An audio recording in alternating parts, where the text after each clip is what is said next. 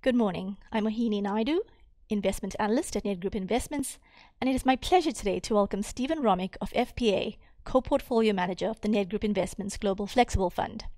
Steve will be talking to us today about recent fund performance, some of the drivers of those performance, and also take a look at recent developments in China and how that impacts FPA's investment thesis and portfolio positioning.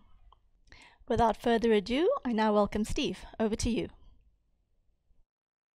Thank you very, very much, Mohini. I appreciate it. Thank you, Nedgroup, for for taking the time uh, to to always you know coordinate these calls for us, and we thank all of you on the who are listening to this as we sit and and, and speak to the topic today, which is uh, more of the same with respect to the Nedgroup Investments Global Flexible Fund we, we, we say more of the same because the world really hasn't changed that much. I mean, sadly, you know, the world is not out of COVID yet, and I hope everybody's faring relatively well. You know, as we continue to to move through this, uh, you know, course of of, of this um, pandemic.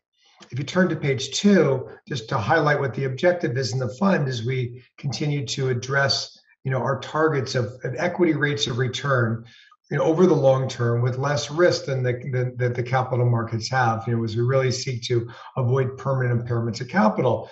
This portfolio is really geared to be to be fully flexible with this idea of being taken advantage to take advantage of, of the debt markets when opportunities are throw are being thrown our way as well.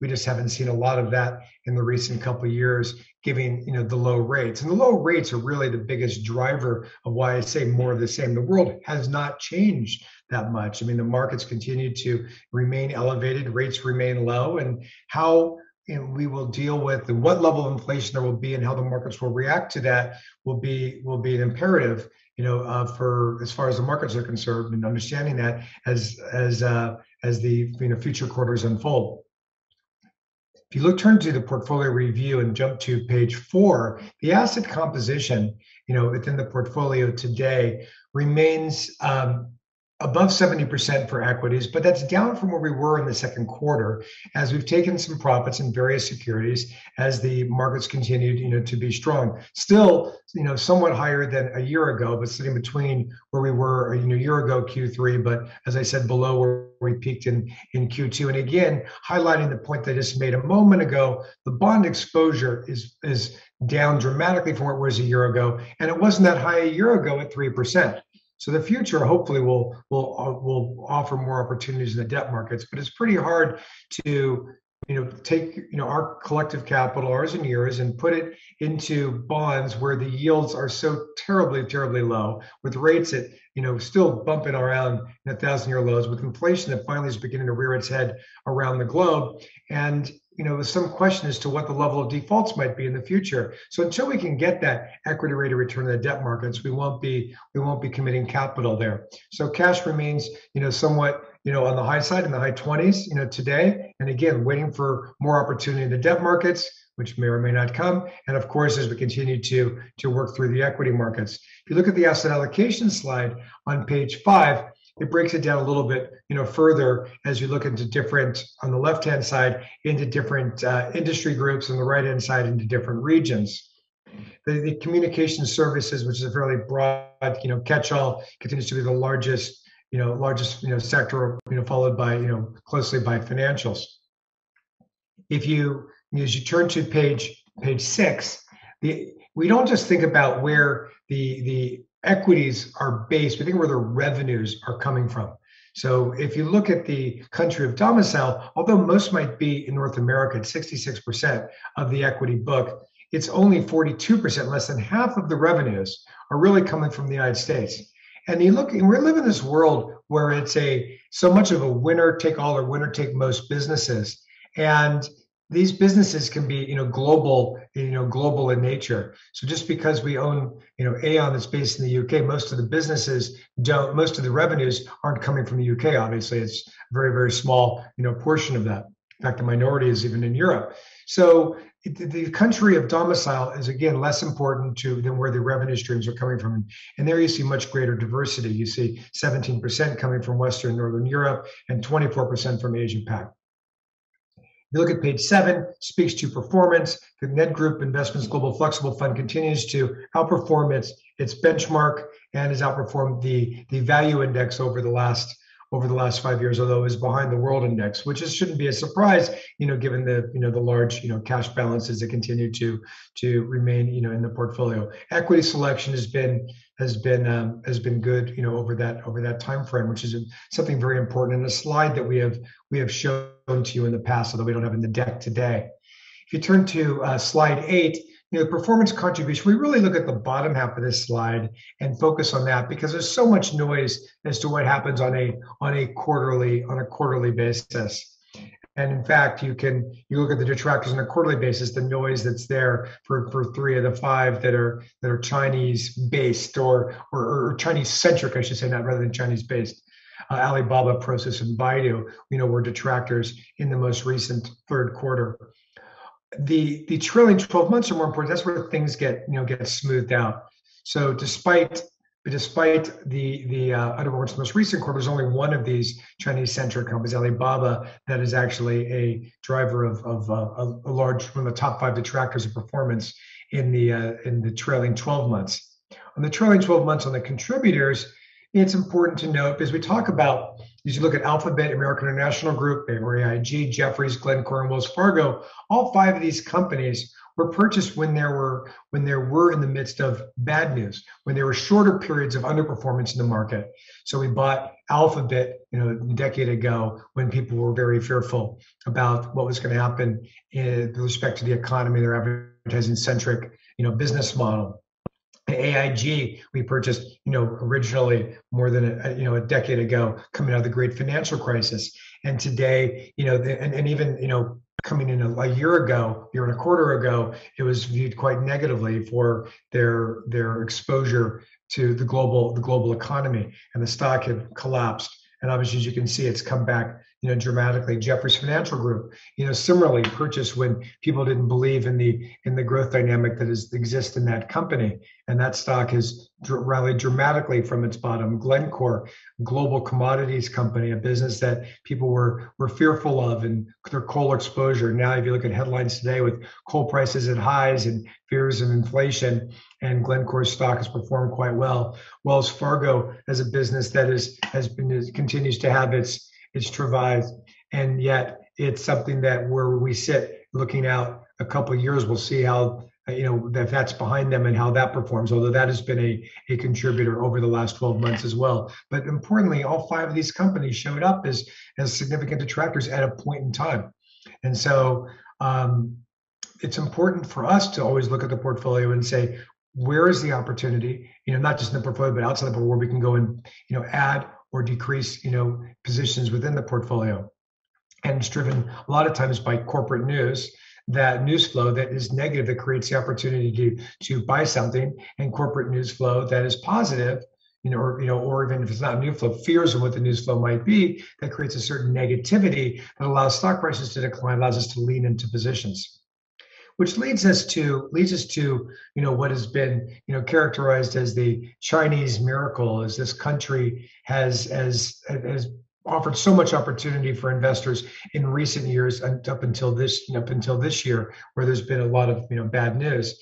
You know, China in 2019, if you look at the headlines on page uh, on on on slide, um, I think it's slide nine. If you turn to that slide, you can look at these headlines. These are all headlines from China in 2019, where the stock market, you know, was performing well, and the country was viewed as, you know, as a uh, as, as, as as I said, the Chinese miracle. Tech valuations were just going through the roof. You know, the, there was so much growth, you know, throughout that economy, and everybody was hammering us, and so, you know, and, and you know, and, and there, there are different managers and saying, why don't you own more China? China's where people should be. There's so much opportunity in China, and it's predicated on, you know, so much on recent performance at that point in time.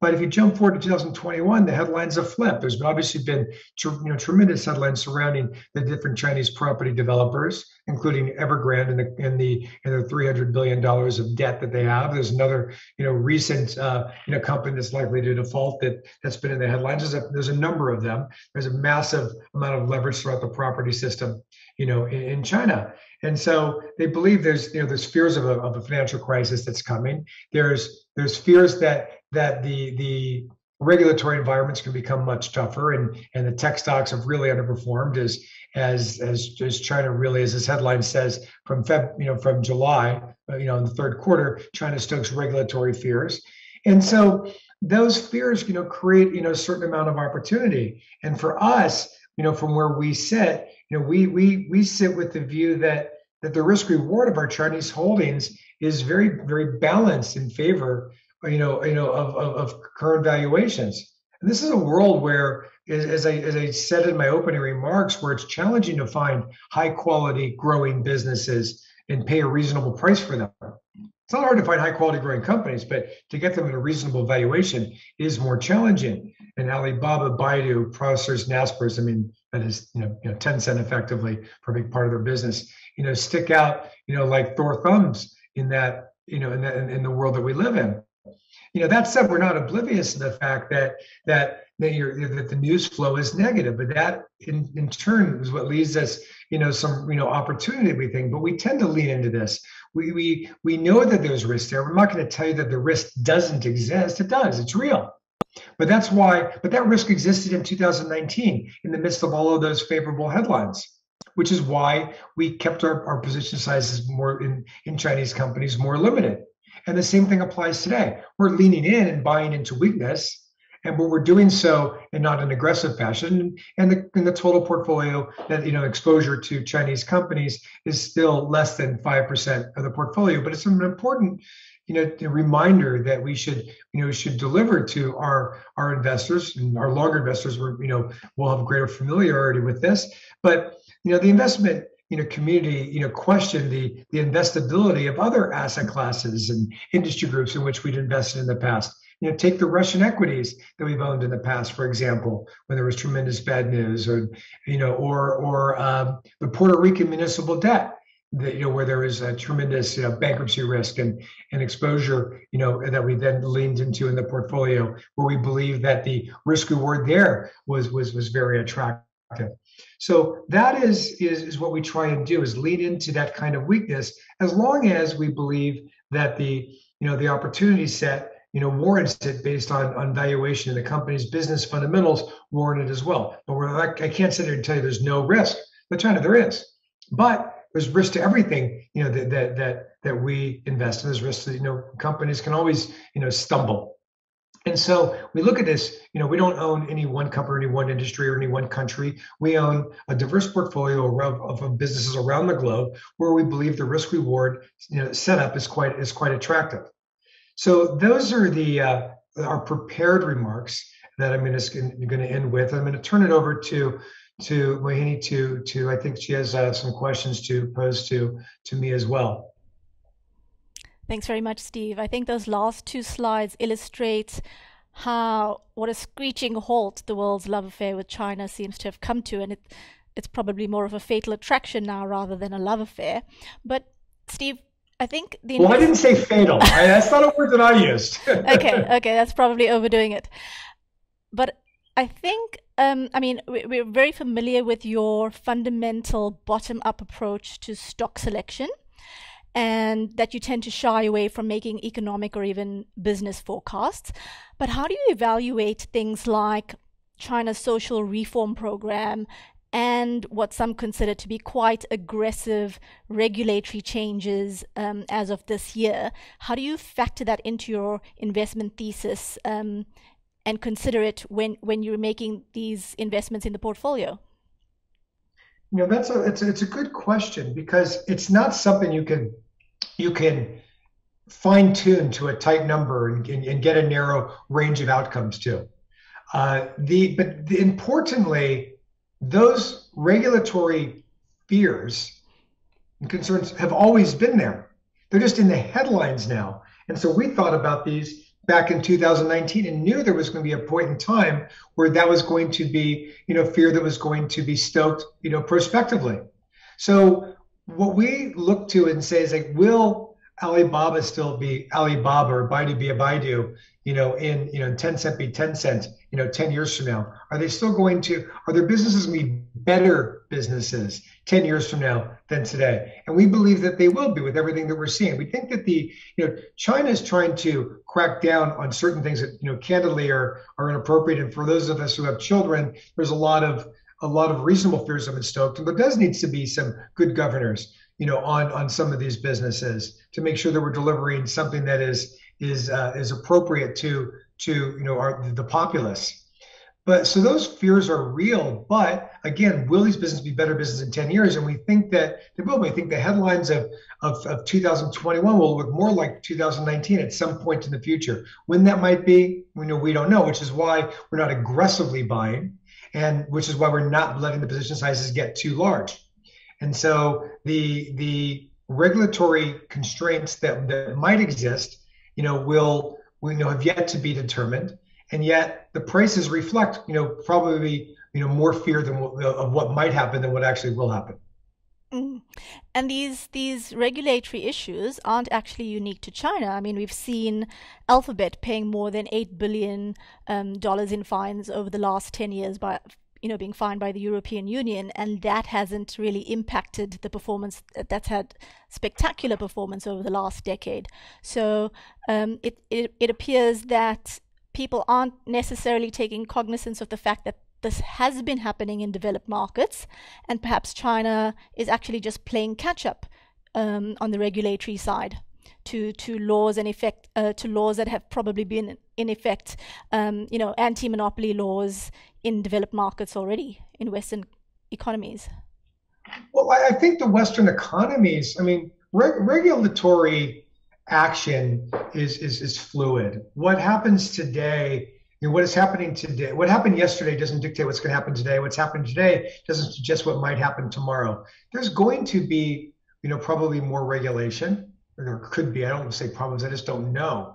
And so those are fears that that exist, or you know, that that that that will impact a an alphabet and, and or even Facebook that's in the portfolio, mm. you know, you know, today, which is why you know Facebook is is not a larger position. It wasn't before. We've always known that the regulatory concerns that that, that face a a that, could face a Facebook or an an Alphabet, you know, are out there, you know. But again, you, you just tilt this to the Facebook discussion because that's in the news, you know, as far as the U.S. is concerned today, you know, given the whistleblower, you know, comments mm-hmm. and, the, and the Washington, you know, testimony, and you know those those fears existed before. We bought Facebook in the midst of fear in the Cambridge Analytica scandal, when we thought there might be, you know. Uh, you know different you know regulatory uh, they would come under greater regulatory uh, scrutiny as, as time went on. And that's happening. I mean but the question becomes as we look down the road you know as long as they still have three and a half billion people on the planet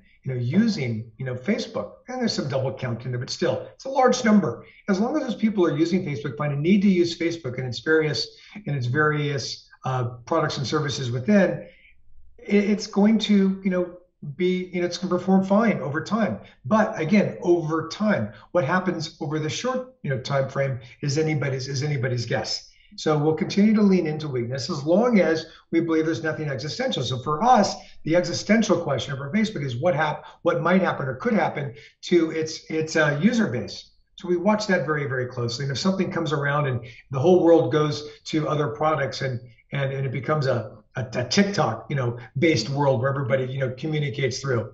I'm not I'm saying this, you know, you know, uh, with, with with great hyperbole, you know, just just to just you know, give an example. But we're looking at any other platform that that could take the business from Facebook, and that's what we watch.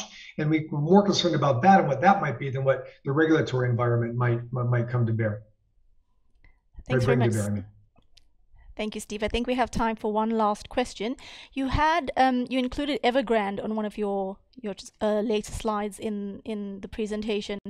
What are the fears? I mean, some market commentators have likened this to to the collapse of Lehman back in the financial crisis, which then triggered you know the global financial crisis.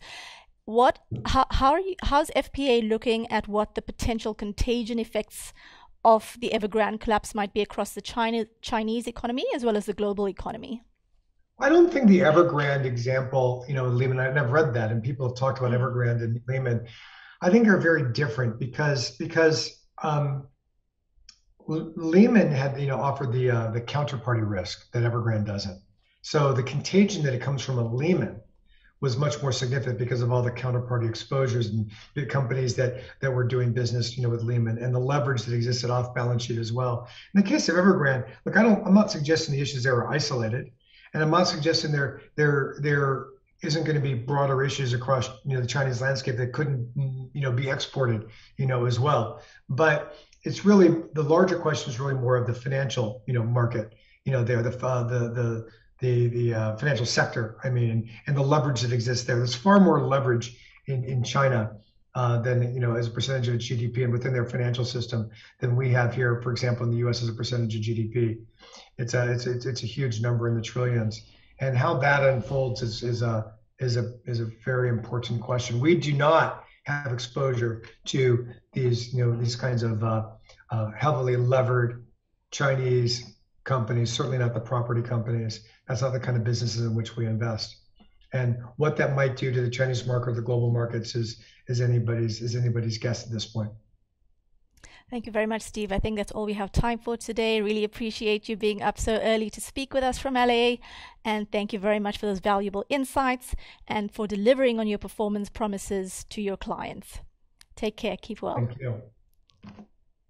And with that, we'll head back to the Nedgroup studio.